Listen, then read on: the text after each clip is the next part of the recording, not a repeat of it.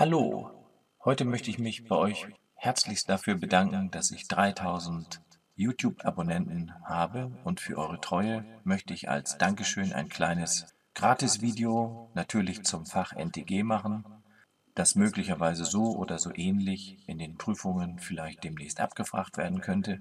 Es geht dabei vor allen Dingen um Leistungen am Motor und Wirkungsgrad in einem System. Bei der Aufgabe geht es um ein Hydraulikaggregat, so wie wir es hier sehen. Das Hydraulikaggregat ist aufgebaut äh, mit einem Drehstrommotor oder ganz allgemein mit einem Motor, mit einem Ölbehälter, der als Vorrat dient. An dem Motor ist eine hydraulische Pumpe angeschlossen, die man hier jetzt nicht sehen kann. Und diese Pumpe fördert dann den Ölstrom zu einem Druckbegrenzungsventil und zur Entnahme in den Druckanschluss. Das Ganze ist praktisch mit einem Manometer ausgestattet, um zu sehen, mit welchem Druck das System arbeitet. Und äh, mehr kann man vielleicht am Schaltplan erkennen. Wir sehen hier den Behälter. Wir sehen hier die Pumpe, die den Öldruck aufbaut und in das System abgibt, wenn von dem System kein Volumenstrom abverlangt wird, fördert die Pumpe weiter, hier über ein Druckbegrenzungsventil, sodass das, der Systemdruck hier also in der Sache geregelt ist.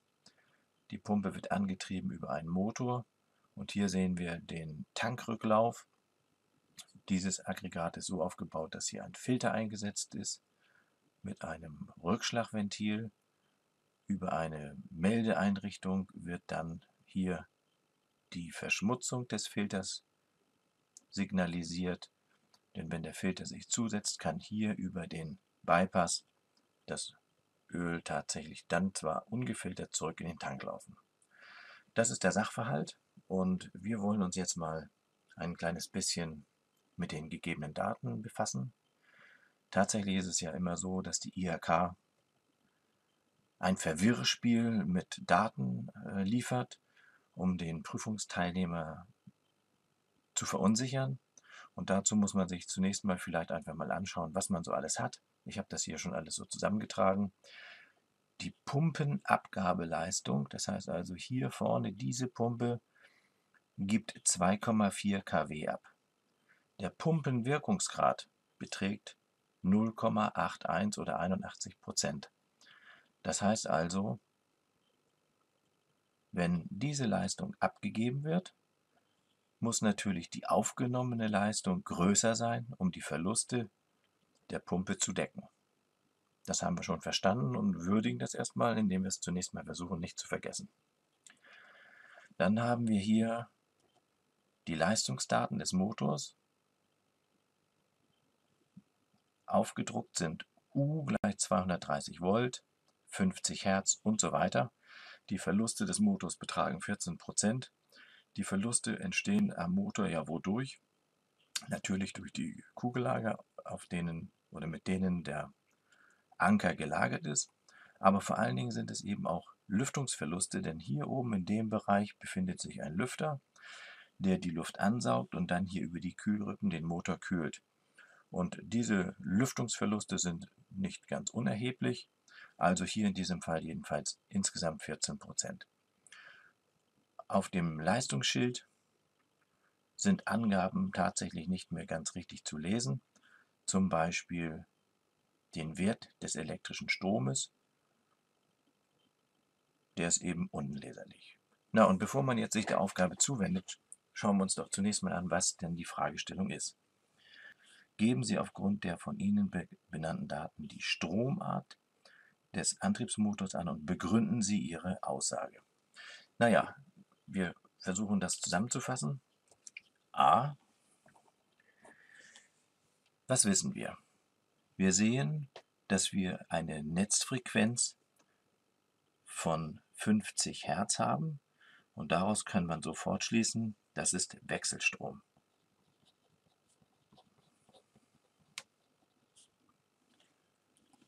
Wechselstrom und die Begründung schreiben wir mal hier von mir aus hier in Orange dahin, damit das dann auch besser leserlich ist, weil f gleich 50 Hertz sind. Das ist das eine. Aber nun wissen wir natürlich auch, dass der Motor möglicherweise mehrere Phasen haben kann. Weil wir hier U gleich 230 Volt sehen, können wir daraus schließen, eine Phase, Doppelpunkt, weil U gleich 230 Volt sind.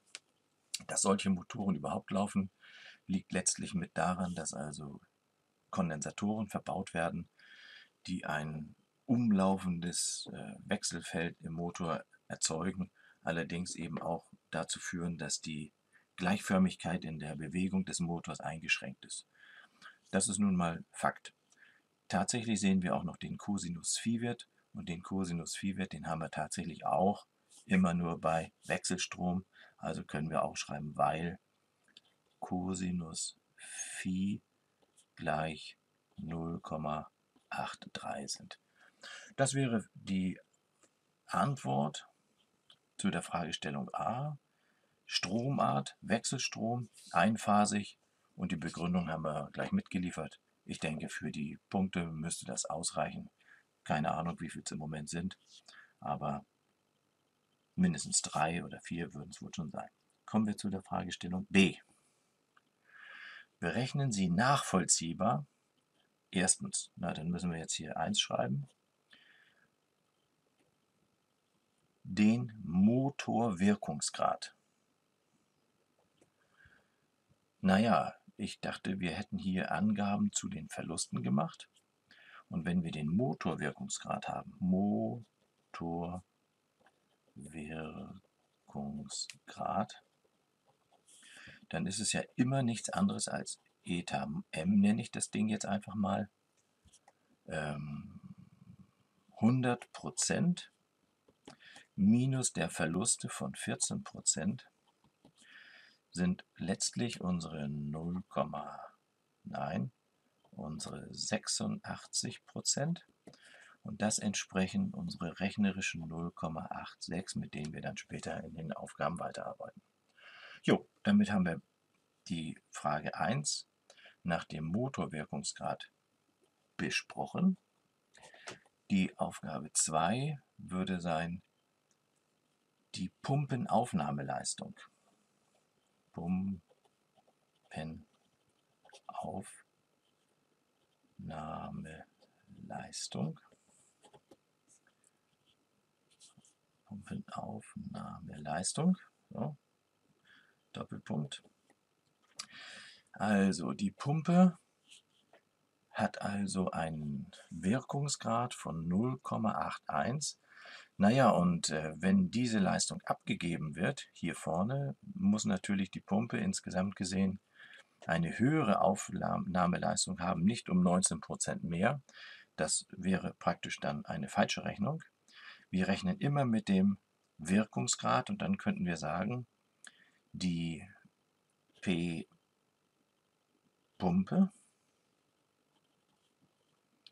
wäre doch nichts anderes als und da schreibt man dann, auch wenn man nicht so ganz genau weiß, wie die ganzen Hieroglyphen heißen sollen, einfach die Leistung mal hin. 2,4 kW geteilt durch den Wirkungsgrad und hier schreibe ich ihn gleich hin mit 0,81 und ich habe es schon noch ein bisschen vorgerechnet, damit wir hier nicht so wahnsinnig viel Zeit verschleudern. 2,963 kW.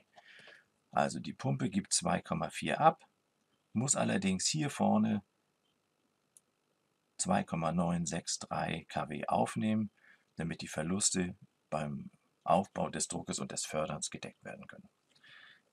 Zu 3. Die Motorabgabeleistung. Motorabgabeleistung. Doppelpunkt. Das wäre P Motor naja, und wir sind uns doch einig. Das, was die Pumpe letztlich aufnimmt, muss ja auch der Motor liefern. Aus diesem Grunde ist natürlich die Motorabgabeleistung genau das gleiche wie P Pumpe. Und das entspricht dann wieder 2,963 kW. Leichtes Spiel, schnell verdientes Geld. Allerdings muss man sich natürlich in dem Gesamtfluss des Energiesystems hier schon hinreichend Klarheit verschafft haben. Zu 4. Das wäre die Motoraufnahmeleistung. Motoraufnahmeleistung. Doppelpunkt. PMA, so nenne ich das jetzt einfach, wäre natürlich wieder nichts anderes. Also wenn der Motor diese Leistung abgibt, dann müssen natürlich die Verluste von 14% wieder mitgedeckt werden. Und wir können sofort schreiben, das muss der Motor abgeben, geteilt durch den Wirkungsgrad vom Motor, wären also 2,963 kW geteilt durch, naja, den Wirkungsgrad haben wir uns ja hier schon ausgerechnet mit 0,86 und das wäre dann tatsächlich 3,4 445 kW, wenn man es dann mit den Zahlen, glaube ich, ganz genau rechnet. Das heißt, der Motor muss diese Leistung aufnehmen, damit er letztlich die Verluste irgendwie von Motor und Pumpe und so weiter hin zur Pumpenabgabeleistung dann decken kann. Zu 5. Gefragt ist hier nach der Stromstärke. Und da wir hier oben schon wissen, dass es sich um einen einphasigen Motor handelt, zwar mit Kondensatorbetrieb, und ähm, diesen Cosinus-Phi-Wert hat, kommen wir erstmal zu der Frage IM Aufnahme, Doppelpunkt. Wir können in der Formelsammlung für einphasigen Wechselstrom ablesen, P ist gleich U mal I mal Cosinus Phi und diese Formel stellen wir natürlich zu der gesuchten Größe i um. Und daraus folgt, so schreibe ich mal,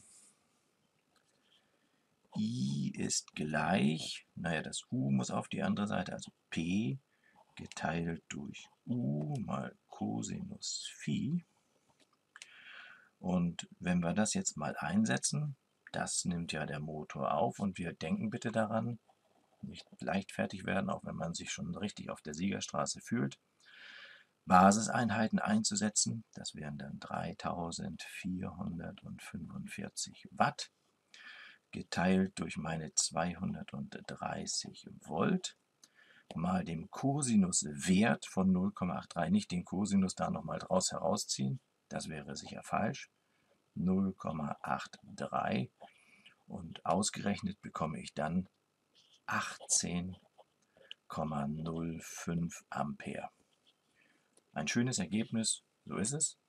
Und letztlich wird hier noch schlussendlich danach gefragt, wie groß ist der Gesamtwirkungsgrad des Systems. Gesamtwirkungsgrad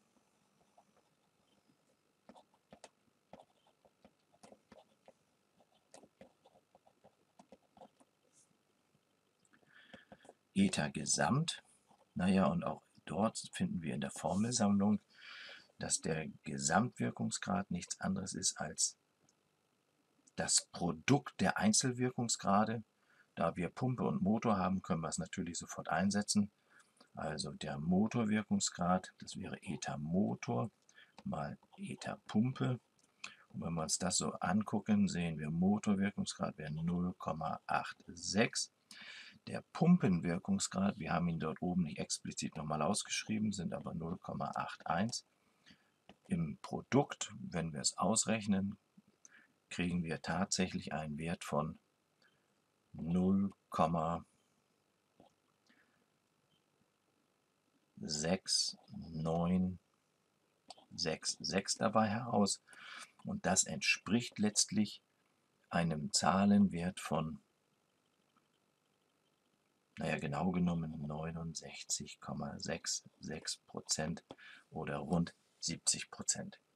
Ja, alles für sich betrachtet schnell verdientes Geld, wenn man weiß, wie es geht. Ich hoffe, es hat wieder ein bisschen Spaß gemacht. Bis zum nächsten Mal.